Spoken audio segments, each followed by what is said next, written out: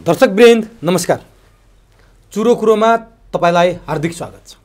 हामी चुरो कुरोको आजको चुरो बहसको यो अङ्कमा नेपालको प्रधानमन्त्रीमा पुष्पकमल दाहाल नियुक्त भइसकेपछि शपथ खाइसकेपछि एक प्रकारले राजनीतिमा र समाजमा तरङ्ग पैदा भएको छ। तेस्रो पार्टीको नेता प्रधानमन्त्री हुनु अस्वाभाविक मानिएको छ तर यसअघि पनि यस्तै हुँदै आएको छ। तेइस सिट जितेका शेरबहादुर देउबा प्रधानमन्त्री भए अहिले अठार सिट जितेका पुष्पकमल दाहाल प्रचण्ड प्रधानमन्त्री भएका छन्। पुष्पकमल दाहाल प्रचण्ड प्रधानमन्त्री भइसकेपछि उनले नेतृत्व गरेको दस वर्षे जनयुद्धको विषयमा फेरि प्रश्न उठ्न थालेको छ निरन्तर प्रश्न उठेको छ। प्रचण्डले नेतृत्व गरेको जनयुद्धका क्रममा सत्र हजार मान्छेको ज्यान गएको छ। कयौँ मान्छे अङ्गभङ्ग भएका छन् त्यसरी ज्यान जानेमा निर्दोष मान्छेहरू पनि छन्। यस्तै गोर्खा फुजेलका कृष्ण प्रसाद अधिकारीको हत्या भयो उनको परिवारले न्याय माग्यो। चुनावका दौरान प्रचण्ड गोर्खाबाट चुनाव लड्दै गर्दा पनि नुर प्रसाद अधिकारी जो कृष्ण प्रसाद अधिकारीका दाजु हुन् उनले न्यायको ढोका ढकढक्याइरहे आमा वीर अस्पतालको छिडीमा बसेर न्याय मागिरहेकी छिन्। बाउ न्याय माग्दा माग्दै मारिन बाध्य भए। मरे। यस्तो अवस्थामा पीडा भोगिरहेको यो अधिकारी परिवारलाई प्रचण्ड प्रधानमन्त्री भइसकेपछि न्याय पाउने आशा कतिको छ?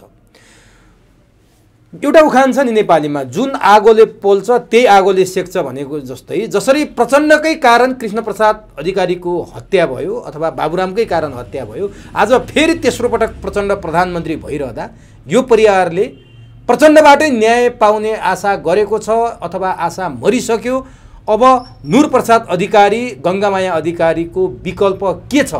प्रचण्ड प्रधानमन्त्री भएपछि यो मुद्दा पेचिलो बन्ला अथवा झन हराएर जाला? अब के होला? यी र यस्तै विषयमा केन्द्रित भएर आज हामी उनै द्वन्द्व पीडित परिवार गुमाएका नुरप्रसाद अधिकारीसँग चुरो कुरोमा संवाद गर्दैछौँ। उनीसँग हामीले निरन्तर रूपमा संवाद गर्दै आइरहेका छौँ र यति बेला प्रचण्ड प्रधानमन्त्री भइरहँदा हामी संवादमा जोडिएका छौँ। सबभन्दा पहिले म नुरप्रसाद अधिकारीलाई चुरो बहसमा स्वागत गर्छु। यहाँलाई चुरो बहसमा हार्दिक स्वागत छ हजुर नमस्कार लामो समयदेखि न्यायको भिख माग्दै आउनु भएको छ न्यायकै भिख माग्ने क्रममा यहाँको पिताजी पनि मारिनुभयो मर्नुभयो यहाँको आमा वीरस्थलको छिडीमा अहिले पनि छोराको हत्यारालाई कारवाही गरी पाऊँ भनेर न्याय माग्दै हुनुहुन्छ यहाँ पनि न्याय माग्दै हुनुहुन्छ जो न्याय दिने ठाउँ हो देशको कार्यकारी पदमा यहाँहरूसँगै प्रत्यक्ष जोडिएका द्वन्द्वको नेतृत्व गरेका जनयुद्धको नेतृत्व गरेका प्रचण्ड तेस्रो पटक प्रधानमन्त्री भएका छन्। यहाँको परिवारले न्याय पाउने आशा अब बाँकी छ। अब न्याय पाउनुहोला अथवा न्याय पाउने आशा मरिसक्यो। के लागेको छ प्रचण्ड प्रधानमन्त्री भइरहँदा मैले यहाँबाट सुरु गरेँ। यसो हेर्नुहोस्। अब ज्यान मारा ज्यान मारा नै हो प्रचण्ड। अपराधी अपराधी नै हो। यसमा अर्को कुरा बोल्नु आवश्यक छैन। मैले सिधै भन्छु अहिले नेपालको प्रधानमन्त्रीमा ज्यान मारा कुर्सीमा बस्या छ यसमा कुनै देश र जनतालाई ढाँट्नुपर्ने कुरा होइन। सरकार चुनाव अब यो विभिन्न कार्यपालिका व्यवस्थापिका र न्यायपालिको सवालमा कुराकानी गर्दै गर्दा हिजो पाँच गठबन्धन भएर चुनावमा थिए।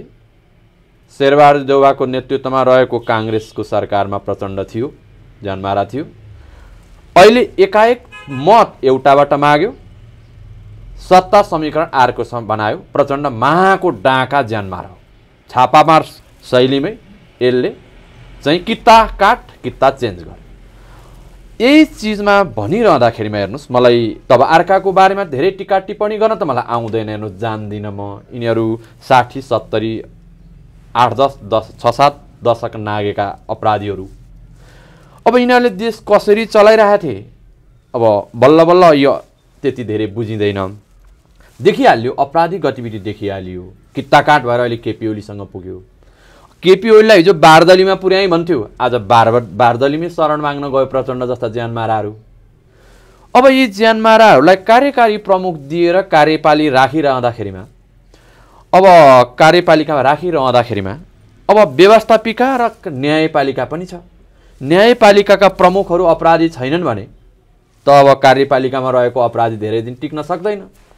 त्यसैले न्यायको कुराको जुन सवाल छ हेर्नुहोस् मैले पाएको जुन दुःख छ जुन यातना छ जुन प्रकारको हत्या मेरो परिवारमा भइरहेका छ म माथि आक्रमण श्रृङ्खलाबद्ध भइरहेका छन् अब योबाट न्यायको सवालमा अब जनताले पनि बाँकी छ नि त जनताले पनि न्याय गर्ने कुरा भन्छन् त्यो जनमतबाट गर्ने न्यायमा त अब देखिहाल्यो कित्ता काट कि ज जनताले यही गर्छन् भन्ने भएको भए काँग्रेसलाई भोट हाल्थे एमालेलाई भोट हाल्थे माओवादीलाई भोट हाल्थे ए के छ यो राजनीतिक म जान्दिनँ हेर यसरी नै मान्छे मार्दै गर्दै आउने गतिविधिलाई राजनीति भनेर नेपालमा लिएर गइया छ।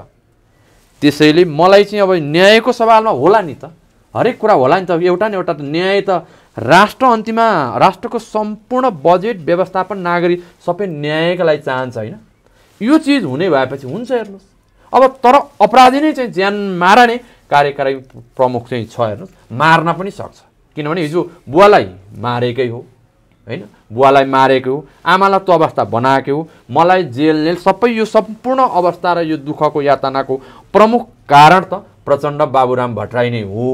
र यी मान्छे यी अपराधीहरूलाई कहिले उसले बोक्ने कहिले उसले बोक्ने गरेर थोरबाउट अपराधको हिस्सा त कङ्ग्रेसको शेरबहादुर र एमालेको केपी ओलीले पनि लिएकै हुन्। अब यिनीहरूको हिजोको केमेस्ट्री अपराधबाटै आए यिनीहरूको चाहिँ त्यो हिजो नै अपराधबाटै आएका हुन् भने आएका हुन् कि यिनीहरूको केमिस्ट्री कसरी मिलिरहेछ म जान्दिनँ हेर्नुहोस् होइन? अब जान्दिनँ किनभने बिस वर्षको उमेरबाट गोर्खा छोडेर अहिले यो देशलाई बुझ्ने क्रममा मैले बुझिसकेका छैन होला। म सिधा भन्छु मलाई दुःख यसले पुर्यायो यसले अपराध गर्यो यी घटना घटे। मेरो जिन्दगीमा जे जे घटना घटेका छन् र जो जसले घटना घटाएका छन् ती घटनाहरू म भन्न सक्छु। र यो कसले बा कोबाट परिचालित भएर गर्दै गरेका हुन् यो चाहिँ कुरा म अझ पनि अन्जान छु देशवासीलाई खोजिदिनुहोस् है म अझ पनि न्यायको लागि रहिराखेको छु। न्याय पा छैन अपराधी को हो? यी अपराधीलाई दण्डित गर्नुपर्छ फाँसी नै हान्नुपर्छ अपराधीहरूलाई भनेर लागिरहेको छु न्याय मागिरहेको छु। र देशमा फाँसीकै व्यवस्था भए सायद आज यस्ता अपराधीहरू भ्रष्टाचारीहरूको चाहिँ खेल जाल झेल यस्तो चाहिँ खेल्ने ठाउँ हुँदैन थियो। अपराध फिनिस अपराध फिनिस हुन्थ्यो। अब यसरी प्रचण्डहरू खेल्न पाउँदैन थिए।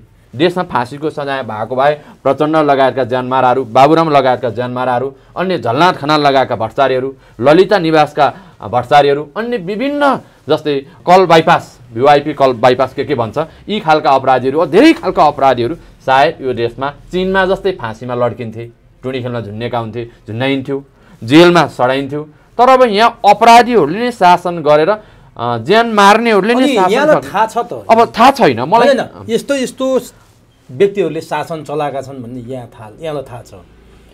कसैले काट्न थालेको बोकाले जति बिन्ती गरे पनि कसैले काटेर मासु बेचेरै छाड्छ।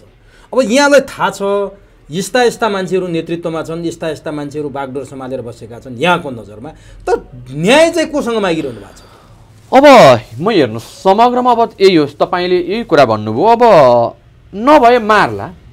न्यायको एउटा जुन राइट र सत्य र न्यायको बाटोमा हिँड्ने बाटोबाट त म त अन्त मोडिन त सकिनँ। रोग लागेपछि उपचारलाई हस्पिटल त जानु पऱ्यो तर हस्पिटलमा डक्टरै जहाँ अपराधी बस्या छ भने त अब मार्छन् मान्छे। सिधै तपाईँले भन्नुभयो प्रचण्डले मार्न सक्छ। नेपालको प्रचण्ड प्रधानमन्त्रीले मलाई मार्न सक्छ मेरो आमालाई मार्न सक्छ र अन्य ठाउँमा घुमाएर लुकाएर फसाउन सक्छ। अब प्रचण्डको उद्देश्य के हो? प्रचण्डको काम मान्छे मार्ने। मान्छे मारेर श्रीमान मार्ने सहिद घोषणा गरिदिने श्रीमतीलाई दस लाख दिने अनि श्रीमती बोकेर जाने। माओवादीको नीति यही हो। माओवादीको नीति भनेको पैसा अनि बेस्याको नीति हो अनि मार्ने हो। मान्छे मार्ने श्रीमान मारिदिने श्रीमतीलाई दस लाख दिने अनि विधवा श्रीमती सहिद पत्नी भनेर आफै लिएर जाने। माओवादीको समग्र नीति यही हो। आज सबै धेरै जसो मान्छे त्यसरी नै फस्या छन्। मलाई पनि त्यसरी नै फसाउन खोजेको थियो। भाइ मारिदिए व्यापार गर भन्छ। बाउ मारिदिए व्यापार गर भन्छ। अब बाउ मारेर म पैसा बोकेर जाने मान्छे त होइन म। आमा मारेर म पैसा बोकेर जाने मान्छे त होइन। र उसको नीति यही व्यापारिक नीति यही वेश्यावृत्ति नीति यस्तै खालको नीतिको तिक्रमबाजी गरेर अनेक प्रकारको जाल झेल कुटिल षड्यन्त्र गरी गरी कहिले कता कहिले कता जोडी जोडी यस्तै अस्थिर तरिकाबाट अपराधी गतिविधि गरी गरी शासन सत्ता हत्याउने र मान्छे मार्ने अपराधी हो प्रचण्ड। अब अब यही अब यो भनेको यसरी नै ल्याइएको यस्तै तिक्रम्बाले चलिरहँदा कहाँ मार्छन् के गर्छन् मलाई थाहा छैन। तर म चाहिँ यस्ता म चाहिँ क्लियर देशवासी र जनतालाई भन्न चाहन्छु कसले के गर्छ मलाई थाहा छैन। अब अहिले पनि बनेको सरकार मन्त्रीमण्डल आछन् यो पनि जनताकै खुन। रगत मासु खानेहरूको ताँती हो कि? अहिले जुन देखिरहेका छ देशमा चाहिँ चुनाव जितेर आए ह्यान त्यान विभिन्न प्रकारको सरकार सबै सरकारी कर्मचारी देशका जनताका जनप्रतिनिधि भनेर जनताका जनप्रतिनिधि भनेरै जनताकै रगत मासु खुन खाने अपराधीहरूका ताँती हुन् कि? अब काम गर्छन्। त्यो तपाईँहरूको मिडिया मार्फत भन्न चाहन्छु र तपाईँसँग सँगै आज तपाईँको युट्युब च्यानल मार्फत आज म अर्को एउटा फरक विषयवस्तु के प्रस्तुत गर्न चाहन्छु भने राष्ट्र स्तरका यी ठुला ठुला मिडिया हाउसहरू छन् नि। यी मिडिया हाउसले न्याय र सत्यको लागि किन काम गर्दैनन्? यिनीहरूलाई पनि गरिदिनको लागि आग्रह गर्छु र यी पनि धेरै क्यामराम्यानहरू बोकेर क्यामराहरू बोकेर धेरै राज्यकोमा धेरै खर्च गरेर धेरै पत्रकारहरू हाउसमा राखेर यिनीहरू पनि रगत र जनताकै रगत र मासु खुन खाने गरेर यही ताँतीभित्र पर्छन् कि योभन्दा बाहिर हुन्। यो प्रश्न पनि म आज आम देशका राष्ट्रिय स्तरका मिडिया हाउसहरूलाई हात खडा गरेर भन्न चाहन्छु। तपाईँहरूको युट्युब च्यानलबाट र तपाईँलाई चाहिँ विशेष धन्यवाद व्यक्त गर्न चाहन्छु यो माहौल। अब नि यहाँले जसरी चाहिँ न्यायको लागि आशा गरिरहँदा हजुर। अघि एउटा ठ्याक्क शब्द यहाँले उल्लेख गर्नुभएको थियो। न्यायपालिकाबाट आशा छ न्यायपालिकाले त न्याय दिला नि न्याय दिने ठाउँ न्यायपालिका हो भनेर भन्नुभएको थियो। प्रचण्डलाई यहाँले प्रमुख दोषी देख्नु भएको छ बाबुरामलाई प्रमुख दोषी देख्नु भएको छ यहाँको भाइ अथवा यहाँको बुबाको हत्याको विषयमा। न्यायपालिकाले कार्यपालिकाका प्रमुख प्रचण्डलाई कारवाही गर्ने अथवा नसिहत दिने हैसियत राख्ला।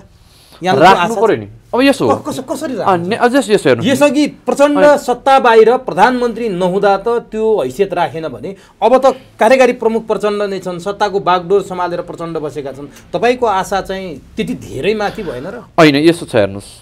अब हाम्रो देशमा फाँसीको सजाय त छैन।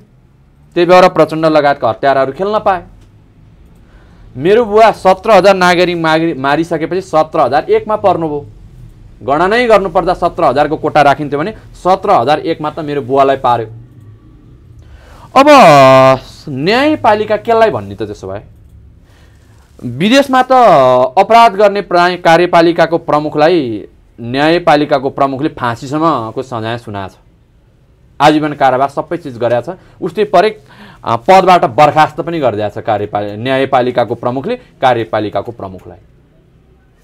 अब नेपालमा पनि नयाँ नयाँ प्र्याक्टिस गर्ने मान्छेहरू आउनु भएको छ अरे सिकेका छन् अरे देशमा जनप्रतिनिधि हुँ भनेका छन् अरे अब विभिन्न खालको मान्छेहरू म त भेटेको छैन अब चिन्जान छैन। त्यसमा राष्ट्रिय रूपबाट त चिन्छन् नि त चिन चिन्जान छ नि त राष्ट्रिय एजेन्डागत हिसाबमा त्यो छ भने न्यायपालिका प्रमुखहरूले कार्यपालिकाका प्रमुखहरूलाई अपराध गरेको भ्रष्टाचार गरेको अनियमितता गरेको अपराध गरेको ठाउँमा त दण्ड चलाउने हैसियत त छ के अरे राख्छन् होला। र नेपालमै नराखेर न्यायपालिकाको नाममा पसल राखेर चाहिँ अब अपराधी नै हुर्काउने व्यवस्था न्यायपालिकाभित्र छ भने मैले के जानु हेर्नुहोस् म त जान्दिनँ। यहाँ धेरै विद्वानहरू छन् क्यारे। धेरै चाहिँ मन्त्री धेरै अब विदहरू धेरै चाहिँ के धेरै विदहरू धेरै विद्वानहरू छन्। अब उहाँहरूको दृष्टिकोणमा के रहन्छ? न्यायपालिकाको प्रमुख भनेको अब उमेरले साठीको हाराहारीमा भएको मान्छे। न्यायपालिकाले कसरी न्याय गर्छ जनताले हेर्नु। मैले त मैले आशा राख्नु यहाँले आशा गरेको कुरामा नि। न्यायपालिकाको प्रमुखसँग कुनै पनि कुरामा विमति भए अथवा आफ्ना मान्छेहरूलाई काहीँ कतै भ्रष्टाचारको आरोपमा अथवा कुनै पनि ढङ्गले आफ्ना मान्छेहरूलाई अप्ठ्यारो पर्ने फैसला आउने अवस्था अथवा आफ्नो मान्छेहरूलाई जोगाउने अवस्था आउँदा न्यायपालिकाका प्रमुखलाई महाअभियोग लगाएको दृष्टान्त यहाँले देखिरहनु भएको छ। यहाँको केसले प्रचण्डलाई पक्राउ पर्ने अवस्था आउने यो कल्पना बाहिरको कुरा यहाँले गरिरहनु भएको छ। यस्तो अवस्था ल्याउन सक्ने न्यायमूर्तिहरू होलान् र अब नभए किन तिनीहरू न्यायालयमा बस्ने त? जनताको रगत र मासु खाएर खुन पसिना खाएर म न्यायाधीश हुँ भनेर झन्डा हल्लाएर किन हिँड्नु त? अब यहाँले प्रश्न छोडेर जाने पनि त हुँदैन होइन। यसो छ। अब उनीहरूको पनि नैतिकताको कुरा हो नि। तपाईँलाई मेरो बुवाको हत्या भइरहँदा त्यति बेलाको प्रधानलाई कारवाहीको भागीदारी हुँदैन थियो अन्त कसले गर्ने के अब? अब यसो छ हेर्नुहोस् अब कुनै दिन समय आउला अब समय अब के हो जनताले पनि अब के रहेछ त अब यस यही यसै भयो समयको अब। गर्दा गर्दै प्रचण्ड पटक प्रधानमन्त्री होइन। यो चाहिँ यसो हेर्नुहोस् अब प्रचण्ड प्रधानमन्त्री तन्त्र गणतन्त्र जुन अपराधीहरूको व्यवस्था रहेछ भन्ने कुरा प्रष्ट भयो है अब तेस्रो पटक प्रधानमन्त्री दिए यसलाई हेर्नुहोस् अब यो खास जनताकोबाट अनुमोदित थिएन क्या यो यो अनुमोदित होइन यो सबै षड्यन्त्रपूर्वक ढङ्गबाट कित्ताकाट गरेर छिन छिनमा छापामार शैलीमा आक्रमण गरेर यस्तो भइरहेछ। हेर्नुहोस् त प्रचण्डको चाहिँ शैली। काङ्ग्रेससँग एकचोटि एमालेसँग भोट माग्यो। एमालेको प्रतिनिधि जिताए। काङ्ग्रेससँग मिलेर पद खायो। अहिले काङ्ग्रेसको पार्टीभित्र छिरेर गएर चाहिँ भोट मागेर जितेर गएर एमालेसँग गएर प्रधानमन्त्री खायो। अनि यो राजनीति यही अब यो- यो- यो- यो राजनीति। मैले योभन्दा पहिलाका श्रृङ्खलाहरूमा हजुरलाई भनेको थिएँ नि यो राजनीति थिएन यो आपराधिक गतिविधि थियो। यही आपराधिक गतिविधिको कारणले गर्दा देशमा राजनीति छैन। तपाईँहरूले जुन भन्यो त्यही भएर तपाईँ हाम्रो पुस्ता पनि यसैलाई राजनीति भनेर गयो भने हामी धेरै नराम्रो दुर्घटना परिरहेको छ त्यो मेरो यस्तो हालत भएको छ। आज तपाईँहरूको च्यानलमा आएर रोइरहनु परेको छ। ज्यानमाराहरू देशको कार्यकारी प्रमुख भइरहेका छन्। देशमा यति महँगी बढेको छ। भ्रष्टाचार बढेको छ। हरेक प्रकारको असुविधा छ। ज जनताको जब जनस्तर एकदम कठिन छ। मान्छेहरू विदेशिएका छन्। लाखौँ युवाहरू विदेशिएका छन्। अनि यी सबैलाई सोच्न सक्ने अहिले प्रचण्ड प्रधानमन्त्री भएर पनि देश र जनतामा कुनै खालको उत्साह छ र त्यही दुई चारवटा रगत र मासु खाने जनताको रगत र मासु खानेहरूको ताँती बढाए जस्तो त भएको छैन। काम गरेन। त्यही होइन। के छ यहाँ अब हेर्दै जानुहोस् न अबको हिजो शपथ छ के अरे? हिजो कि अस्ति खायो के अरे? अब यी हजुर के भनेर शपथ खान्छ हेर्नुहोस् त। ज देश र जनताको लागि सत्य नै सेवा गर्छु। पक्ष विपक्ष त्यस्तै छ नि शपथ खाने शैली। त्यही होइन। त्यो अनुसार काम हुन्छ। यिनीहरूको शपथ हो मैले त तपाईँलाई भन्नुपर्दा यी नेता प्रचण्डको मुख हो कि मलद्वार हो? मैले भन्छु प्रचण्डको मुख मुख हो कि मलद्वार हो यो? प्रचण्डलाई म सिधै भन्न चाहन्छु। ज्यान मारेको छ लुटेको छ झुट कुरा गरेको छ कित्ताकाट गरेको छ कहिले यता कहिले उता चाहिँ जोडिया छ। यस्ता मुख र मलद्वार कुन हो भन्ने कुरा के हो भन्ने कुरा टुङ्गो छैन। कहाँबाट के बोल्छ? त्यस्ता मान्छेलाई देश र देशवासीले जनताले नबुझ्या हो कि नचिन्या हो आफै झुकिरहेछन् अबका बाँकी दिनमा नझुकेलान् अब हामी जस्ता मान्छे नझुक्यौँला म त बोली फेर्दिनँ नि। प्रचण्ड ज्यान मारा हो। हत्यारा हो। आतङ्कवादी हो। लुटेरा हो। कुनै पनि कुराहरू हिजो चाहिँ लुटेको बैङ्कको बैङ्क लुटेको पैसा फिर्ता गरेको छैन। सम्पत्ति लुटेको फिर्ता गरेको छैन। ज्यान मारेको ठाउँमा कुनै पनि प्रकारको अनुसन्धान भएको छैन। के के काम गरेछ प्रचण्डले? अब कसरी यो कङ्ग्रेस एमालेहरू अब यहाँ फाँसीको सजाय छैन हेर्नुहोस् हामी जस्तो देशमा शासक हुन्थ्यो भने चिन भारत सौदी अरब अन्य विभिन्न अन्तर्राष्ट्रिय स्तरमा हाम्रो जस्तो हामी जस्तो मान्छेहरूले कोर्डिनेसन गर्न पाइन्थ्यो भने हामी देशमा फाँसीको सजाय दिन्थ्यौँ। हामी टुँडी खेलमा हरेक कर्मचारीलाई हरेक नेतालाई भ्रष्टाचार गर्दै गर्दा फाँसीमा जान्छु है म मेरो चाहिँ श्रीमती छोरछोरी केही भन्न पाउँदिनँ। फाँसी छ नेपाल के नेपालमा पनि। भन्ने हुन्थ्यो बनाउँथ्यौँ होला। होइन अब यहाँ त हेर्नुहोस् हामी त भर्खर ज चालिस वर्षको भयो यहाँ धेरै चिज गर्नेहरू छन् धेरै विद्वानहरू छन् यो बिचमा केही पनि रहन्छ देशमा त त्यही भएर त आज देशको अवस्था यो छ तर यहाँले प्रचण्डमाथि जे आरोप लगाइरहेको। छ त्यो आरोप सुनिरहँदा यो अहिलेको विद्यमान व्यवस्था छ नि हजुर। सङ्घीय लोकतान्त्रिक गणतन्त्र धर्मनिरपेक्षता सहितको अथवा दुई सय चालिस वर्षदेखिको उनीहरूको भाषामा भन्यो भने सामन्ती राज संस्था अथवा के के जे थियो नि हामीसँग सत्तालिसको संविधान। बैसठी त्रिसठीको आन्दोलन र दस वर्षे जनयुद्धको बलमा नेतृत्वमा प्रचण्डकै नेतृत्वमा यो परिवर्तन भएको हो। त्यसकारण यो एजेन्डा प्रचण्डको हो र प्रचण्ड प्रधानमन्त्री हुनु स्वाभाविक हो भन्नेहरू पनि छन्। यो सबै अपराधिक गतिविधि गर्नेहरूले भन्ने हो। ठगेर खाने मान्छे मारेर खाने लुटेर खाने भ्रष्टाचार गरेर खाने लुगा मात्रै लाएर खाने मतलब काम नगरिकन खाने अपराधिक गतिविधि गर्ने मान्छेहरूले मात्रै भन्ने हो। यो मलाई नै थाहा नभएको कुरा म बोल्दिनँ हेर्नुहोस्। मैले जे देखाएको छ त्यो कुरा बोल्ने हो। गणतन्त्र आयो। उद्योग धन्दा सबै बन्द भए। गाउँघरमा भएका मान्छे सबै लखेटिए कोही देश विदेश पुगे कोही मारिए। समाजमा बेथिटी मात्रै भयो। श्रीमान मारेछ श्रीमतीलाई दस लाख दिएको छ सहिद घोषणा गरेको छ श्रीमती आफैले लिएर गएर यौन धन्दा चला सञ्चालन गरेछ त्यस्ता खालका पार्टीहरू छन् देशमा। अब यसलाई अनि हिजो देशको नाममा हेर्नु न देशमा वैदेशिक ऋण हेर्नुहोस् त। के के कुरा भन्ने क्या? उद्योग धन्दा छैनन्। वैदेशिक ऋण यति महँगो छ। हिजो राजाको पाला मैले देख्दिनँ राजाको पालामा बरु उद्योग धन्दा थिए। कल कारखाना थियो। मान्छेहरू शान्त तरिकाले बस्थे। अपराधलाई फाँसीसम्म हानिन्थ्यो। अहिले त अपराध गरेछ बि मन्त्री भएको छ। जेलमा बसेको अपराधीलाई फाँसी दिनुपर्ने ठाउँमा निकालेर मन्त्री बनाउन हतार गर्छन् यिनीहरू। अरू देशमा अपराध गर्ने मान्छेहरू फाँसीमा झुन्डिन्छन् आजीवन कारावास बस्छन् नेपालमा चाहिँ अपराध गर्ने मान्छेहरू मन्त्री हुन्छन्। अनि यही यो गणतन्त्र। दुई हजार सात सालबाट यही चिज गर्नको लागि ल्याएको यसरी नै मारेर भत्काएर अर्काको दिल दुखाएर हरेक प्रकारको नोक्सानी गरेर आफू मात्रै खाने आफ्नो ज्वाइँ आफ्नो छोरी आफ्नो बुहारी आफ्ना मात्रै मान्छे हावी गर्ने तन्त्र। हेर्नुहोस् त म के चाहिँ भनिदिउँ प्रचण्डको त प्रचण्ड जस्तो यो देशको नालायक अपराधी डाँका ज्यानमारा त्यसलाई गाली गर्ने शब्दै छैन त्यसको मुख हो कि मलद्वार हो? अहिले त म भन्दा भन्ने प्रचण्डसँग नै सबै देशमा त म मात्रै रहेछु जस्तो लाग्छ अहिले प्रचण्डको विरुद्धमा। प्रचण्डको विरुद्धमा न्याय खोज्ने मान्छे म एक्लै भएको जस्तो पनि लाग्छ कहिलेकाहीँ किनकि राजतन्त्रवादी शक्तिहरू पनि त्यहीँ गएर प्रचण्डकै तुम शरणम गरेको देख्दाखेरिमा त ज्यानमा जस्तै मैले अहिले भने राजेन्द्र लिङ्गदेलज्यू लगायतका मान्छेहरूले चाहिँ अहिले प्रचण्डकै सरकारलाई समर्थन गरेको देखेर चाहिँ प्रचण्ड विरोधी त तपाईँ म मात्रै। नेपालमा न्याय खोज्ने पनि म मात्रै रहेछ। अनि सबै चिजबाट बोली नफर्ने क्लियर भएको कच्चा भए पनि बच्चा भए पनि इथिक्स एजेन्डा उद्देश्य राखेको त बखे आखिरमा जनताको बिचमा ल हेर्नु न जनतालाई नै सोध्नुहोस् न। म त सिधै भनिदिन्छु ल। हामी जस्तो हाम्रो शासक हुन्थ्यो र हाम्रा खालका चाहिँ व्यवस्था हुन्थ्यो भने यस्ता अपराधीहरूलाई सबै पीडितहरू जम्मा गरेर टुनी खेल्ने फाँसी दिइदिन्थ्यौँ हामी। फाँसीको सजाय नेपालमा ला लागू गर्ने गर्ने गर्ने गर्थ्यौँ। तर यहाँ त गणतन्त्र मान्छे मार्ने पैसा लुट्ने घर भत्काउने उद्योग धन्दा भत्काउने चन्दा आतङ्क खाने वैदेशिक ऋण बढाउने भयभरको अपराध गर्ने जति बाँकी रहेको देश र बाँकी रहेका देश र जनताको रगत र मासु खाने गरेर ताँती बनेर हिँडेको छ लाज लाग्नु पर्ने हो यिनीहरूलाई त हेर्नु नूरप्रसाद अधिकारी। म मात्रै अँ। भन्नु नूरप्रसाद अधिकारी हजुर। दस वर्षे द्वन्द्वबाट पीडित। यहाँको परिवार पीडित। द्वन्द्व भएन पिँढी मैले हो। हजुर भन्नुहोस् न। तपाईँको रिस तपाईँको आक्रोश तपाईँको अथवा विरोध दस वर्षको त्यो जनयुद्धसँग अथवा प्रचण्डसँग हो कि गणतन्त्रसँग? होइन अब सबैसँग गणतन्त्रमाथि किन यस्तो छ। गणतन्त्र त यहाँको भाइ मारे होइन होइन। अब तन्त्र ल्याउने भने यही प्रचण्डी लगायतका ज्यानमाराहरू हुन्।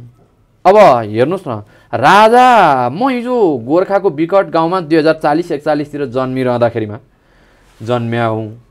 बाहन्न सालबाट प्रचण्ड लगायतका ज्यानमाराहरूले देशमा युद्ध सुरु गरेर म त्यति बेला बाह्र वर्षको रहेछु। मेरो भाइ सत्र वर्षको मेरो मारियो। म बिस वर्षको थिएँ। बैसठी त्रिसठी खोइ के के हो यो आन्दोलनमा सबै जान्दिनँ हेर्नुहोस्। तपाईँ नै भन्नु तपाईँ नै कतिपय कुरा जान्नुहुन्न। निरन्तर चोट खाइरहेँ मैले। एउटा देशको नागरिक भएर तन्त्रमा निरन्तर चोट खाएको खाइछु। दुई हजार उनानस अस्सी सालको संविधान सभाको चुनावमा पनि म लुट्टेँ मेरो वस्त्र उधारियो। एउटा बालक हो नि म तिनीहरूको अगाडि प्रचण्डहरूको अगाडि त। भनेपछि एउटा उसको अगाडि हो नि। भनेपछि यस्ता अपराधी जानकार भइ भइ म तपाईँलाई देखाउँछु। मलाई न्याय दिने सवालमा देशमा अपराधीहरू गिरफ्तार गऱ्यो भने मलाई पक्र भनेर भने त बाबुराम भट्टराईले हेर्नुहोस् त्यति बेला। यो नागरिक समाज नागरिक भन्ने पत्रिका पनि लेखिया छ कान्तिपुर भन्ने पनि लेखिया छ मलाई नै पक्र म अपराधी भनेर डाक्टर बाबुराम भट्टराईले भनेको नेपाल बन्द गरेको संसद बन्द गरेको। मलाई डलरको आरोप लगाएको कुराहरू अहिले मैले थाहा पाएँ। किनभने म सबै कुरा जानकार त थिइनँ। यस्ता अपराधीहरू रहेछन्। अब यो गणतन्त्र के का लागि लिएर आए त आज प्रचण्डलाई बाबुराम भट्टराईलाई गणतान्त्रिक नेपालको सरकारलाई टिचिङ हस्पिटलबाट मेरो बाउको लासले स्वागत गरेका छैन त? स्वागत हो यो। लासमाथि टेकेर जनताको रगत मासु खाएर दुनियाँ दिवाना भत्काएर सत्र लाखौँ मान्छेहरूलाई चोट दिएर गणतन्त्र स्थापित गर्नुभन्दा त नगरे भए हुन्थ्यो नि त बरु। के पाए त जनताले लो भन्नुहोस् त? स्वतन्त्र म सिंहदरबारको गेटमा प्रवेश गर्न जान पाउँदिनँ। नेपालमा न्याय निरूपण गरेर लास जलाउँ बुवाको चाँडै सद्गत गरौँ चाँडै अपराधीलाई दण्डित गराएर झुन्नाउँ है भन्दा पाइनँ। मैले के कुरा बोल्न पाएको छु र यो गणतन्त्र भन् मैले ल्याए पनि होइन। यी अपराधीहरूले किन लिएर आए गणतन्त्र? उद्योग धन्दा किन भत्काउनु परेको थियो? आज ग प्रचण्डे गरालाई चाहिँ ज्यानमारालाई चाहिँ प्रधानमन्त्री नपाएर चुनाव जित्न उहाँ उहाँ रुन्छ। अब राजतन्त्रको नाममा ज्ञानेन्द्रले सत्ता छोडेर जाँदा हाँसी हाँसी गएको भिडियो क्लिप अहिले मैले देखेँ।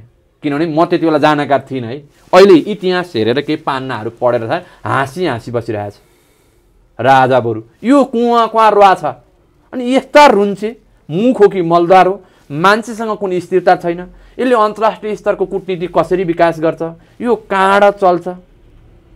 जनता किन झुक्क्याउँछ? भनेपछि अनि यो त अनि मलाई न्याय नदिएकोमा चाहिँ अब के हो? जनतालाई सोधिदिन्छु तपाईँ मार्फत। गणतन्त्रले नदिया हो भन्छन् साथीहरू। यही गणतन्त्रको अपराधीले न्याय दिँदैनन्। अनि राजतन्त्र राजतन्त्र चाहिँ यहाँको लागि ठिक थियो। अब के थाहा? चाहिँ जनताले न्याय पाएका थिए। अब राजतन्त्रको सवालमा म जानकार छैन। चालिस सालमा म जन्मेको। बहुदल छ सालमा सात सालमा आएको। सात सालदेखिबाट चाहिँ यो देशमा के के आएको? सात सालबाट सत्र साल सत्ताइस साल सैँतिस साल सत्तालिस सालसम्म म दुई चार वर्षको भएको थिएँ भनेपछि यो बिचमा के के थियो तपाईँ गिरिजा प्रसाद?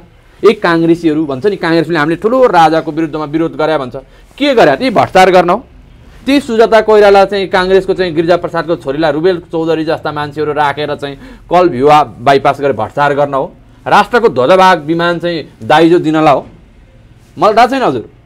अनि प्रचण्डलाई यही हो बुहारीलाई बनाएछ मन्त्री छोरीलाई बनाएछ मन्त्री उसका छोरालाई बनाएछ मन्त्री ज्वाइँलाई बनाएछ हप्ता हप्ता असुल्ने चाहिँ पुलिस प्रशासनसँग चाहिँ बढुवा घटुवा पैसा असुल्ने दुनियाँ दिवाना मान्छे मारेको छ सबै चिज गरेछ अनि यसकै लागि ल्यायो त प्रचण्डलाई त्यही ल्याएर छ नि त। के रहेछ त भन्नु न हामीलाई केही रहेछ। मेरो दुई हजार एकसट्ठी सालबाट भाइ मारियो एउटा नागरिक एउटा परिवारलाई क कन्टिन्यू आक्रमण गरियो। यो प कहिले भिजलान्ते भनिया छ कहिले काङ्ग्रेसी भनिया छ कहिले एमालेको भनिया छ केपी ओलीको कार्यकर्ता भनिया छ कहिले राजावादीको कार्यकर्ता भनिया छ कहिले अमेरिकाको डलरबाट चल्या भनिया छ। यस्ता अपराधीहरू म केबाट चल्ने? आज देश र जनताको बिचमा म त तपाईँकै अगाडि छु नि त होइन? केहीबाट चल्याएको छु त म? हिजो मलाई के के आरोप लाए? मेरो बाउ भोको बस्दा डलरवादी रे अब। मान्छे भोको बसेर न्याय पाइन हजुर भनेको छ। प्रचण्डै जस्तो यो मुख र मलद्वार एउटै भएको यो डाका। यसले के भन्छ? माओवादी म सिधै भन्छु। माओवादीले सिधै भन्छु। प्रचण्डको मुख र मलद्वार एउटै हो कि होइन? के भन्यो मलाई? डलरवादी भन्यो। बालाई डलर मेरो बुवा नन्दप्रसाद डलरवादी भन्यो। राजावादी भनिदियो केपी ओली ओली भन्यो। न्याय गर्नु पर्दैन। अनि यस्ता अपराधीहरूलाई देश र जनताले विश्वास गरे होइन? यहाँले यहाँ यसलाई त सिधै म भन्छु। म तपाईँलाई देख्दै जानुहोस्। म भनेको छु म बोली फेर्दिनँ। प्रचण्ड ज्यान मारा नै हो। भोलि ज्यान मारा हजुर मैले गल्ती गरेँ भनेर म कहाँ माफी माग्न आयो भने मबाट माफी पाउँदैन।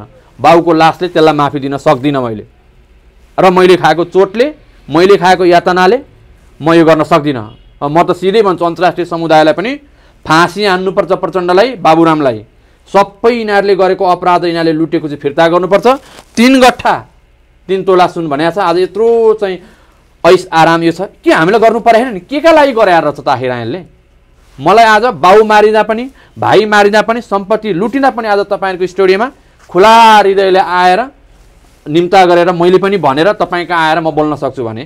त्यस्ता अपराधीहरूको यो कुनै म सक्छु नि मैले केही बिगारेको छु। म सिधै भन्छु मार्न मन लाग्यो मार माओवादी हो।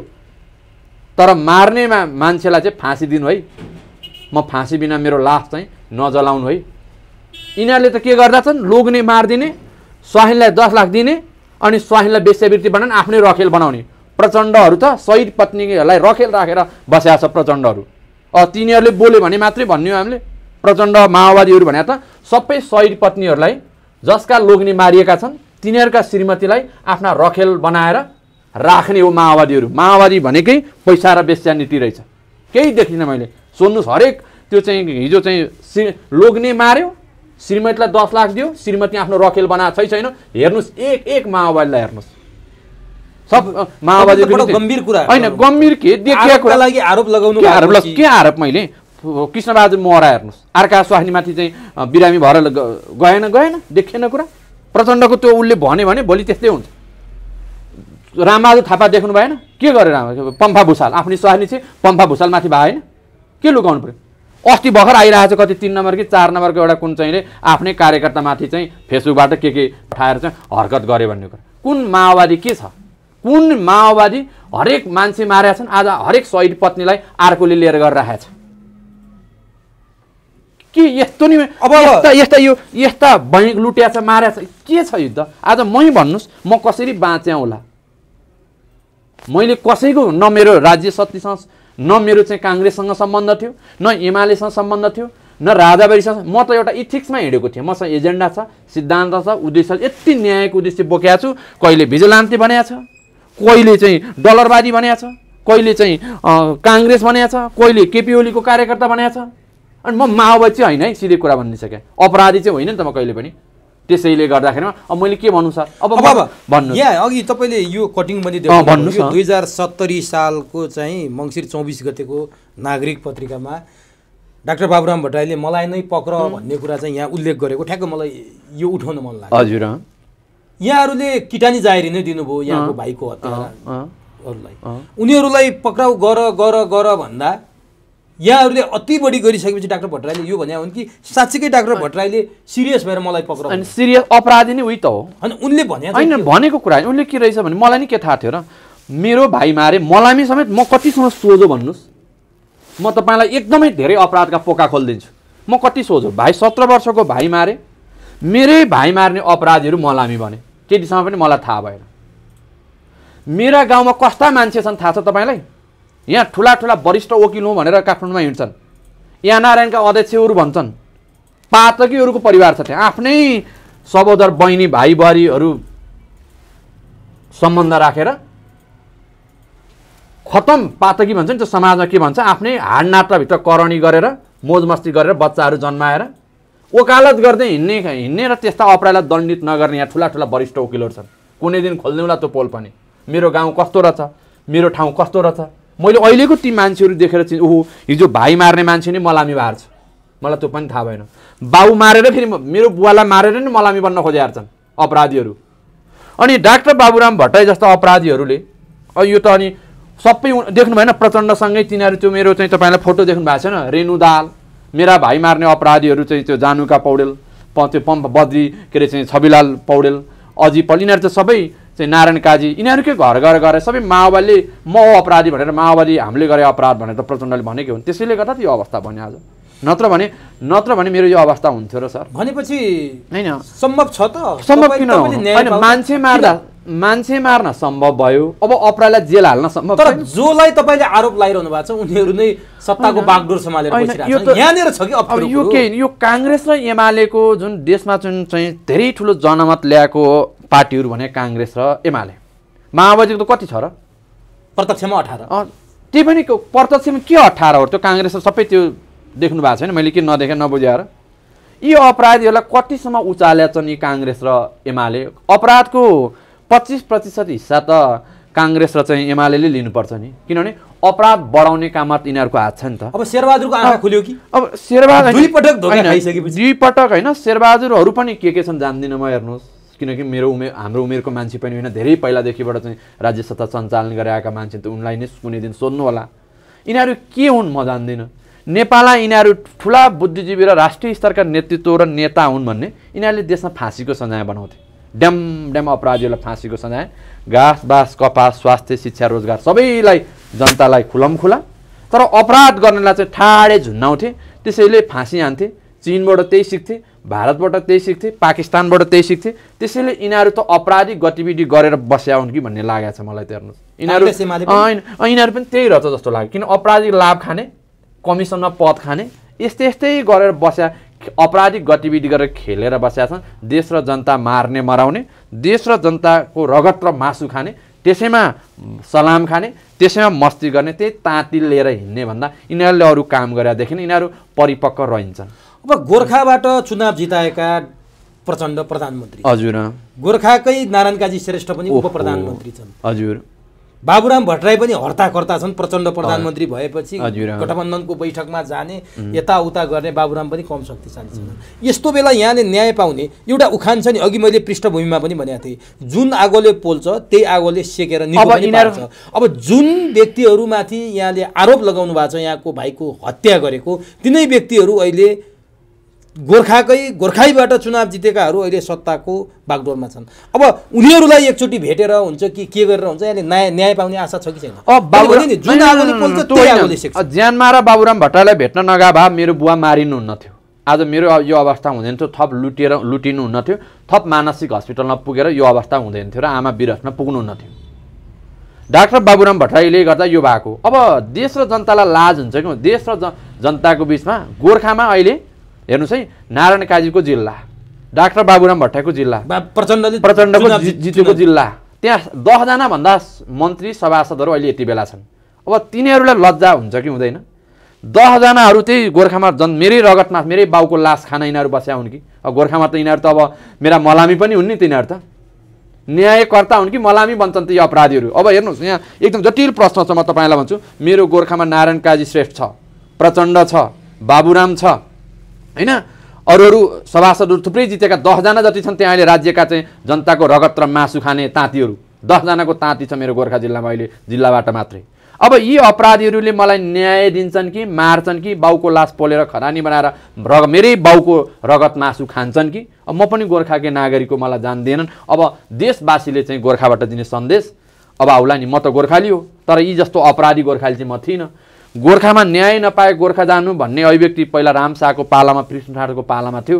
अब यिनै अपराधीहरूले भत्काएर यो स्थिति बनाएर आज म काठमाडौँको चाहिँ केन्द्रीय सडकमा मेरो सिंहदरबारको ढोका अगाडि मेरो बुवाको हत्या भयो। त्यो पनि डाक्टर भट्टराई प्रचण्डको कारणले गर्दा। आज त्यही जिल्लावासीमा त्यत्रा मान्छे हुँदा अब गोर्खा जिल्लामा अपराधी अपराधीको राज छ भनेर मैले भनिरहनै पर्दैन। देशका सतहत्तर जिल्लामा गोर्खा जिल्ला चाहिँ पुरै अपराधीहरूको नियन्त्रणमा छ ज्यानमाराहरूको बिचमा छ भनेर भन्न कुनै लुकाउनु पर्दै पर्दैन। अब म किनिने कुरा भएन बाउको लास बेच्ने कुरा भएन भाइको रगत बेच्ने कुरा भएन आमाको दुःख पीडा बेच्ने कुरा भएन म मेरो पनि दुःख पीडा बेच्दिनँ। अनि वेश्यावृत्ति पनि गर्दिनँ। अब यिनीहरूले सिकाउने मार्ने लुट्ने पैसा र वेश्यावृत्तिमा गएर मेरो गएर यिनीहरूले जे जे भने त्यही त्यही गरेर त भएन। म त कमसेकम चाहिँ एउटा यति चोट खाएर नि बुझ्या भने अनि पैसा र वेश्यावृत्ति नै गरेर बस्ने हो त जिन्दगी। यी प्रचण्ड यी अपराधीहरू जस्तो त होइन नि म। त्यसैले म त भनिदिइसकेँ आम देशवासीलाई अर्को चुनाव आउँदै होला आउँदै होला फाँसीको सजाय लेख्ने हो त्यो लेख्ने अभियानमा चाहिँ साथ दिनु होला। अहिले तुरुन्त पनि अब यो जनमत फिर्ता गर्न मिल्थ्यो भने गोर्खाली जनताले अहिले फिर्ता गर्थे प्रचण्डबाट।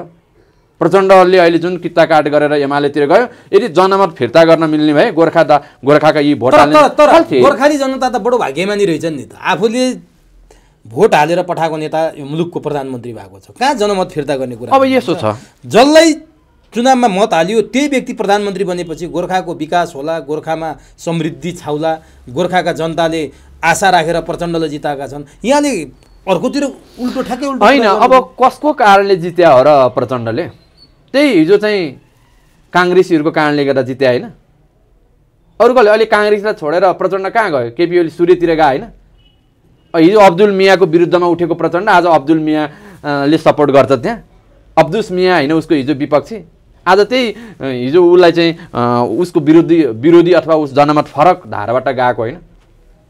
अनि अर्को कुरा प्रचण्डले गर्ने विकास भने के त्यसको बाउको चाहिँ दुई कट्ठा र तिन कट्ठा चाहिँ चाहिँ के अरे चाहिँ जमिन र चाहिँ तिन तोला सुनबाट गर्ने हो र त्यो? सम्भव छ त्यो कुरा? राज्य ढुकुटीबाट गर्ने हो। के गोर्खालाई मात्रै बजेट ओइर्याउने हो र? प्रधानमन्त्री भयो भन्दैमा? तर- अनि सुन्नु राज्य ढुकुटीको जनताको ट्याक्स ज राज अर्थ मन्त्रालयबाट डिस बजेट विनियोजन गरेर अनि लिएर गएर राज्यको जनताको रगत बासु चाहिँ खन्याउने ठाउँ हो र त्यसको त्यसको ठाउँमा खन्याउने ठाउँ हो र त्यो? सबै उसले अनि उसको उसले गरे विकास हुने हो त्यो त्यस्ता कुरा विकास छोडिदिनु। त्यो तपाईँ भयो नि गर्नुहुन्छ। अर्को त्यहाँको एउटा चाहिँ अर्को अर्कै कुना राम श्याम कुनै चाहिँ राम हरि कृष्णले नि गर्छ त्यो कुरा। मैले गरिदिन्थेँ। राज्यको ढुकुटीको पैसा लगाएर यो बाटो बनाएँ भन्नलाई प्रचण्डले बना भन्नुपर्छ। आफ्नो गाउँठाउँ यसरी बनाउने हो। प सतहत्तर जिल्ला छैन। के छ त्यहाँ? म जस्तो मान्छे तपाईँहरूको ठाउँमा त्यसैले यस्ता बेकुब कुरा यही हो छ भने। होइन न तपाईँहरूले बुझ्नुहोस् अब यो मैले यस्ता कुरा त म त्यति नबोलेकै राम्रो हो। तर पनि केही बुझ्दै आएँ म त न्यायकै कुरा गरिरहेका छु। तर पनि ती अपराधीहरू दसजनाका अपराधीका ताँती भन्ने कि न्यायकर्ता हुन् भोलिको दिनमा तपाईँले थाहा अहिले म टिका टिप्पणी गर्दा तर भोलिको दिनमा थाहा भन्नुहोस् तपाईँले। प्रयास निकै गरे हो। होइन, प्रयास- होइन, मैले मैले भन्न खोजेँ जस्तो प्रचण्ड गोर्खाबाट चुनाव लड्ने भइरहँदा तपाईँ गोर्खा जाँदा तपाईँ लुटिनु भयो कुटिनु भयो तपाईँलाई नाङ्गै बनाएर पठाए अनि? लुगा खोलेरै पठाए। अनि अनि? त्यो पनि तपाईँको घुमाउरो पाराले प्रचण्डको विरुद्धमा थियो। प्रचण्डलाई चुनावमा रोक्नलाई तपाईँको कुनै न कुनै एउटा विरोधको शैली थियो। त्यसपछि पनि तपाईँले विभिन्न सञ्चार माध्यममा अन्तर्वार्ता दिनुभयो। प्रचण्डलाई नजिताउ गोर्खाली दाजुभाइ भनेर अपिल पनि गर्नुभयो। तपाईँले त्यति गर्दा गर्दै पनि प्रचण्ड जितेरै आए। नम्बर एक। नम्बर दुई प्रचण्ड तेस्रो पार्टीमा खुम्चे अठार सिट मात्रै जितेका प्रचण्ड उनानब्बे सिट जितेको काङ्ग्रेस र दोस्रो सिट जितेको एमालेलाई पनि उछिनेर प्रधानमन्त्री बन्न पुगे। यो तपाईँको ब्याड लक हो कि जनताको ब्याड लक हो कि के कारण तेस्रो सिटमा खुम्चिएको माओवादीको अध्यक्ष प्रचण्ड प्रधानमन्त्री बन्न पुगे? रोक्ने धेरै प्रयास गर्नु होइन मैले रोके होइन। देशमा म एउटा नुर प्रसाद अधिकारी मात्रै यो देशमा हो र यहाँ त तिन करोड मान्छे छन् भन्छन् नि होइन। तिन करोड चार करोडको हाराइमा जनसङ्ख्या छैन होइन र। गोर्खामा म त मेरो आफ्नो गाउँ गाउँ मेरो जिल्ला गाउँ अब्दुस मिया प्रचण्डको विरुद्धमा उठाएको थियो होइन एमालेबाट। कङ्ग्रेसको सुरेन्द्र पाण्डेले समर्थन गरेका थियो होइन कङ्ग्रेसको समर्थन सुरेन्द्र पाण्डेबाट भएर प्रचण्डले जित्यो। अब्दुस मिया उसको विपक्षी थियो। आज प्रचण्ड कुन कित्तामा छ अहिले चुनाव जितेर? अब्दुस मियाको कित्तामा छैन त रुखको कित्ताबाट अहिले प्रचण्ड कुन कित्तामा सर्या छ? सूर्यको कित्तामा होइन। हिजो प्रचण्ड को कसको विरुद्धमा लड सूर्यको कित्तासँग ऊ ल विरुद्धमा लड्दै थियो होइन यस्ता मुख र मलद्वार काम गराए अलग अलग हुने प्रचण्ड जस्तो मान्छेलाई के मान्छे भन्ने? मैले मैले नि। होइन मैले रोक्न सक् अब म त मैले त केही यहाँ अब शेरबहादुरले धोका खाएँ केपी ओलीले धोका खाए हिजो चाहिँ बहुमतको सरकार केपी ओलीबाट चाहिँ केपी ओली प्रधानमन्त्री हुँदाखेरिमा प्रचण्डले चाहिँ आफ्नो समर्थन फिर्ता लिएर कङ्ग्रेसको शेरबहादुरलाई चाहिँ प्रधानमन्त्री बनाएको होइन। बारदली हिजो प्रचण्डले भन्दैन थियो बारदली बा भन्थे केपी ओलीलाई आज बारदली कहाँ गएर गुहाँ रोएर तुम शरणम गर्यो अब यस्ता गधाहरू ज्यानमाराहरू के तर- मैले अब यसमा यस्तो छ। धेरै जनताले प्रचण्डमाथि आरोप पनि- धेरै जनताले प्रचण्डलाई नचाहँदा गोर्खाबाट प्रचण्ड जितेर आए। काठमाडौँमा आइसकेपछि तेस्रो दलमा खुम्चिएका प्रचण्ड प्रधानमन्त्री भयो। चमत्कार गरे त त। यसो पनि हुनसक्छ हेर्नुहोस्। अब यो चाहिँ मैले बुझ्दिनँ अब यो उमेरले साठी कटेका धेरै अनुभव बटुलेका धेरै विज्ञहरूसँग सोध्नु होला कङ्ग्रेसको शेरबहादुर देवालाई सोध्नु होला। चकमा त खैदे नि खुवाए। अब केपी ओली पनि किन लोभी भयो हिजो लोभी भयो अथवा चाहिँ शेरबहादुर पनि किन लोभी भयो यो माझा किन यसरी खेल्न पाछ हाम्रो काँखा पल्टामा? कहिले यता आची गरिदिएछ कहिले उता आची गरेछ प्रचण्डले हामी आची प्रचण्डकै आची खेलाएर बस्ने भइयो भनेर केपी ओलीलाई र शेरबहादुरलाई पनि अलिकति लाज लाग्नुपर्ने हो। यसलाई त ट्याङ्ग समातेर लगाएर टुँडी खेल्न फाँसी हान्नुपर्ने हो हाम्रो अगाडि।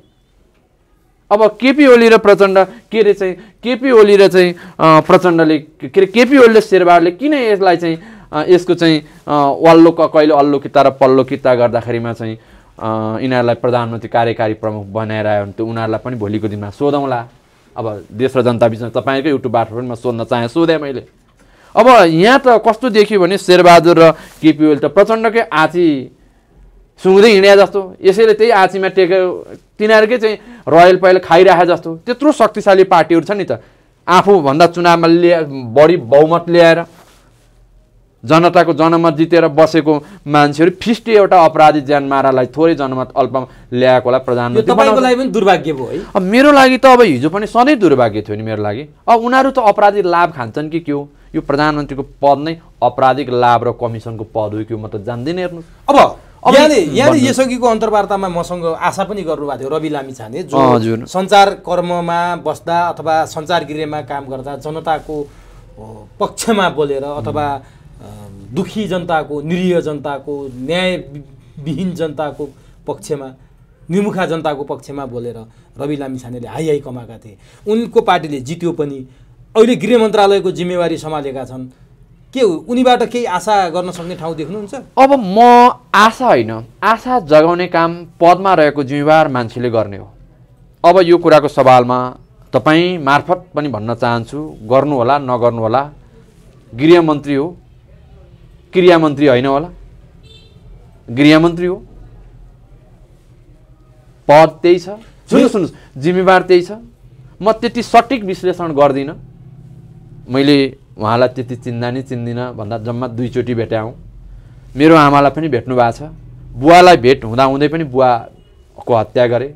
उहाँ त्यति बेला सञ्चारकर्मी हुनुहुन्थ्यो के अरे? जानकार हुनुहुन्छ। राष्ट्रिय अन्तर्राष्ट्रिय रूपबाट चिर परिचित घटना हो। नुर प्रसाद दुःख पाइरहेछ। न्याय पाएको छैन। दुखी छ। सबै कुरा लुटिएको छ।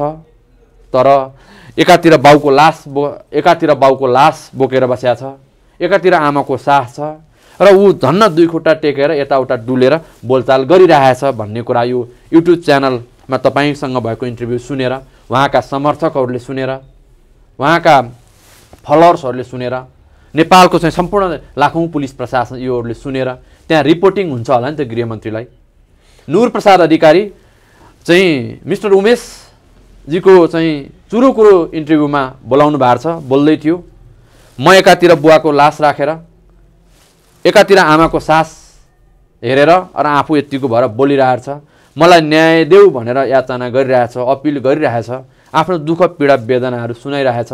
देशमा कोही जिम्मेवार मान्छे छौ भने न्याय देऊ गृहमन्त्री प्रधानमन्त्री प्रधान न्यायाधीश न्याय देऊ भनेर भनिरहेको छ त्यसैले यस्तै पर्दा मर्दा पर्दा अप्ठ्यारो गाह्रो परेका मान्छेहरूलाई न्याय दिने हाम्रो नीति हो देशको नीति हो भन्यो भने उहाँहरूलाई काम कर्तव्य अधिकार सिकाइरहनु पर्दैन होला। उहाँले शपथ ग्रहण गरिसक्नु भएको छ। त्यसैले तपाईँहरूको च्यानलबाट न्याय गरिदिन आग्रह गर्ने हो। अनि नगरे हुँदी अब उहाँ के हो। उहाँले भन्ने कुरा हो। अब मलाई आश म हिजो पनि म कति बेला मारिन्छु कति बेला लुटिन्छु म केही आश राख्दिनँ? हुनुपर्ने काम त हुनु पर्यो नि। तर नि अब यहाँ सेटिङ हुन्छ सेटिङ यहाँले रवि लामी छानेबाट आशा पनि गर्नुभयो। सञ्चार कर्मको हिसाबले उहाँले धेरैलाई गरे पनि हो। तर उहाँले एउटा कुरा बोल्नु भएको थियो टुटी खेलमा ल्याएर घुमाएर नाकको डाँडी भाँच्ने कुरा पनि उहाँले गर्नुभएको हो। प्रचण्ड माधव नेपाल शेरबहादुर केपी ओलीको सम्पत्ति छानबिन गर्छु म सत्तामा गएँ भने भन्नुहुन्थ्यो।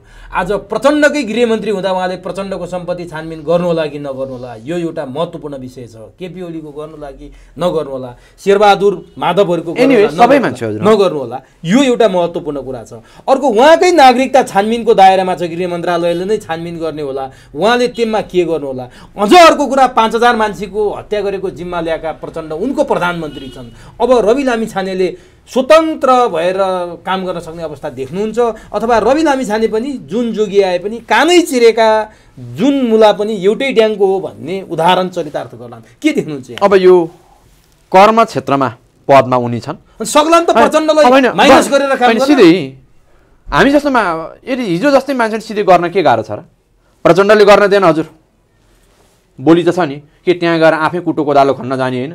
निर्देशन गर्ने हो राइट कुरा फाइन्ड आउट गर्ने हो। के छ र त्यहाँबाट गर्ने? तर अन्तिममा आएर त्यसो भन्न त भयो जस्तो जस्तो। भोलि। योभन्दा अगाडिको निवर्तमान अर्थमन्त्री जनार्दन शर्मा अत्यन्तै गनाए। उनले चाहे त्यो सिसिटिभी फुटेजको बारेमा होस् चाहे अर्थतन्त्र डामाडोल भएको अवस्थामा चाहे गभर्नरसँगका पैठोजोरीको विषयमा उनी विवादमै रहे राजीनामा दिएर फेरि फिर्ता भएका मान्छे हुन् जनार्दन शर्मा। यसो हो। म मन्त्रीबाट हटेपछि अथवा प्रधानमन्त्री नै हटेपछि उनले सम्पूर्ण दोष शेरबहादुरलाई लगाइदिएका छन्। शेरबहादुरका कारण म बदनाम भएँ भनेर हिजो मात्रै बोलेका छन्। यत्रो महिनासम्म उनी बोलेनन्। त्यसै गरी रवि लामी छानेले अन्तिममा प्रचण्ड प्रधानमन्त्रीबाट हटेपछि आफू पनि हट्ने अवस्था आएपछि प्रचण्डले गर्दा मैले काम गर्न सकेन भन्नु कि डे वानबाटै प्रचण्डले कहीँ कतै अवरोध गरेका छन् भने भन्ने के गर्ने? अहिले समर्थन फिर्ता लिने अहिले काम गर्न नदिए समर्थन फिर्ता लिने धुस बनाउने। सिधै चाहिँ अब चाहिँ नाकको डाँडी भाँच्नुपर्ने प्रचण्डलाई। ल योसँग काम रहन्छ यो ज्यान मारा रहेछ भन्ने समर्थन फिर्ता लिन्छ तपाईँको गृहमन्त्री नजिक म समर्थन फिर्ता लिन्छु भन्ने। होइन सुन अनि अनि त्यही अनि त्यही पदै खान जनताको अब रविजीलाई म त्यसरी भन्दिनँ। अब उहाँ सम्मान धेरै माथिल्लो पोस्टमा हुनुहुन्छ मैले त्यसरी टिका टिप्पणी गर्न मिल्दैन। तर एउटा कुरा चाहिँ के भन्छु भने त्यही जनताकै रगत खुन मासु खान नै त्यो पद खानु थियो भने त रविजीले किन जनतालाई झुक्क्याउनु परेको थियो र? त्यही त्यही कित्तामा गएर त्यसरी नै पद पैसा र जनताको रगत मासु नै खाएर आउने नर भक्षीहरूसँग मिलेर आफू पनि नर भक्षी नै हुनु थियो भने किन जनता झुक्क्याउनु थियो र? सायद उहाँले झुक्क्याउनु हुन्न होला। र गृहमन्त्री भएर पनि पद उहाँको लागि ठुलो होइन भने काम गर्न दिएन भनेर देशमा सत्य न्याय सुशासन शान्ति विकास गर्न दिएन भने समर्थन फिर्ता लिएर ल प्रचण्डे ज्यान मार तँसँग म बस्न सक्दिनँ भनेर आउलान्। त्यसपछि अर्को सरकार बन्ला। त्यसपछि चाहिँ फेरि लहर प्रचण्डलाई टोनी खेलमा झुन्डाउलान्। अब नि। भन्नुहोस्। रवि लामी छाने एउटा आशा गरेका व्यक्तित्व। राजेन्द्र लिङ्गदेन अलिकति फरक कित्ताको फरक धारको नेतृत्व गर्ने व्यक्तित्व। उनका भाषणहरूको बहुसङ्ख्यक समय प्रचण्डको आलोचनामै जान्थ्यो। किनभने प्रचण्डको नेतृत्वमा नेपालमा गणतन्त्र स्थापना भएको राजेन्द्र लिङ्गदेन गण गणतन्त्र विरोधी। तर नाटकीय शैलीमा राजेन्द्र र रवि लामी छाने चाहिँ प्रचण्डलाई समर्थन गर्न पुग्नुको पछाडि के रहेछ जस्तो लाग्छ तपाईँलाई राजनीति? अब राजेन्द्र लिङ्गदेनलाई एकचोटि निवासमा भेट्या हो मैले हेर्नुहोस्। न्याय पाइन है राजेन्द्रज्यू गणतन्त्रवादीहरूले न्याय दिएनन्। तपाईँ राजतन्त्रवादीको कित्ताको हुनुहुन्छ? म माथि दया राखिदिनु होला। न्यायको मेरो आवाजलाई न्याय दिलाउने काम गरिदिनु होला। बुवालाई मारे आमाको त्यो अवस्था छ। म सा मैले सिधै भने बुवाको लास आमाको चाहिँ सास र म आफै जेल बसेर गणतन्त्रले हेपेर चेपेर न्याकेर सिद्ध्याउन लागेको मान्छे। म तपाईँको अगाडि उपस्थित भएको छु। न्यायको लागि साथ गरिदिनुहोस् भनेर एकचोटि भनेको थिएँ। त्यसपछि मेरो भेटघाट पनि भएको छैन। गा पनि छैन। र अब के हो म जान्दिनँ सर? किनभने अब यो उहाँहरूलाई नै सोध्नुहोस् राजेन्द्रज्यूहरूलाई नि कुनै दिन उहाँकै प्रवक्ताहरू हुनुहुन्छ बोलाएर सोध्नुहोस् म चाहिँ जान्दिनँ किनभने म चाहिँ सिधा कुरा भन्ने हो। न्याय हो सत्य न्याय चाहने हो। मैले दुःख पाछु मलाई न्याय देऊ। मेरो घर पनि लुट्यो भाइ पनि मारियो धन सम्पत्ति सबै लुट्यो। नागरिकता समेत नेपाल सरकारले लुटेर राखेको छ। यो विषम अवस्थामा सडकमा एउटा न्यायको आवाजको प्रतिनिधि बनेर हिँडिरहेको छु न्याय खोज्न हिँडिरहेको छु। न्याय दिलाउने काम गरिदिनुहोस्। योभन्दा म अरू कुरा भन्न सक्दिनँ। उहाँहरू सबैलाई होइन? अब भन्न सक्दिनँ। त्यसैले अब उहाँहरू चाहिँ के होला भन्ने कुरा उहाँहरू नै जान्दछन्। उहाँहरूको मनको कुरा र उहाँहरूको निर्णय म जान्दिनँ हेर्नुहोस्। अब सिधै कुरा मलाई न्याय चाहियो। यहाँहरू पीडित हुनुहुन्छ नि। हजुर। यहाँ जस्तै एकजना अर्को पीडित हुनुहुन्छ ज्ञानेन्द्र आरनजी। उहाँहरूको समूहले प्रचण्डलाई पक्राउ गर्नका लागि उजुरी पनि दियो। तर पक्राउ गर्न उजुरी दिएका व्यक्ति आज यो मुलुकको प्रधानमन्त्री भए। त। अब यहाँहरू जस्ता हजारौँ द्वन्द्व पीडित हुनुहुन्छ नि। अब यसो यहाँहरूको के छ अन्तिममा? के छ अब? यो द्वन्द्व पीडित पनि धेरै जसो हेर्नुहोस् पैसाकै लागि हिँड्या जस्तो देखियो। कतिपय पीडितहरूले लोग्ने मारेछ श्रीमती मारेछ बालबच्चा मारेछ प्रचण्ड गणतन्त्रबाट दस लाख बुझ्दै खाँदै कराउँदै गर्छन्। यता माओवादीहरू पहिला मान्छे मार्दै हिँड्ने गाउँबाट लखेड्दै हिँड्ने यता काङ्ग्रेसको सरकार गृहमन्त्रीमा कृष्ण प्रसाद सिटौला गिरिजा प्रसाद प्रधानमन्त्री भएर दस लाख दिइने अनि तिनीहरूलाई वेश्यावृत्तिमा लगाउने। यौन शोषण पार्ने हतियार दिएर अपराधीहरूलाई ठिक गर नभन्ने। भनेपछि यो चाहिँ खेल रहेछ हेर्नुहोस् खेल जेल जेल रहेछ। यताबाट गाउँबाट आफ्ना कार्यकर्ता मराएर लोग्ने मारेर स्वास्नी सहर आछे। उसलाई दस लाख रुपियाँ दिने पैसा दिने अनि एउटाले बोकेर लाने। अर्कोले चाहिँ वेश्यावृत्ति गराइदिने। यस्ता तरिकाका काम। हिजो भारत चाहिँ हेर्नुहोस्। त्यसैले म त्यसमा फस्या छैन। फसाउने प्रयास भएको थियो। म यस्ता घृणित काम गर्दिनँ। द्वन्द्व पीडितहरूको अवस्था त्यस्तै छ कतिपयको मैले भने द्वन्द्व पीडित भन्दिनँ। काङ्ग्रेस र मा के द्वन्द्व मा काङ्ग्रेसले काङ्ग्रेसको काङ्ग्रेसले अपराध गरायो भने देखिहाल्यो। काङ्ग्रेसले त्यसो गर्दा काङ्ग्रेसले नै यता माओवादीले मारेर लखेट्ने यता दस लाख दिने शहीद घोषणा गर्ने यिनीहरू नै मिलै मिली कृष्ण प्रसाद सिटौला त सिधै भनौँ न कतिपय काङ्ग्रेसीहरूले त यो त माओवादीकै प्रवक्ता रहेछ भन्थे कृष्ण प्रसाद सिटौलालाई त्यति बेला। चोरै रहेछ कृष्ण प्रसाद सिटौला त्यति बेला न्याय त गरेन त्यसले। यिनीहरू सबै काम के रहेछ यिनीहरू पैसा।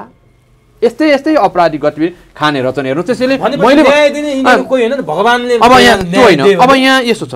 अब म त अहिले पछिल्लो समय छक्क छु। लोग्ने मार्या छ स्वाहनी। उसको श्रीमती।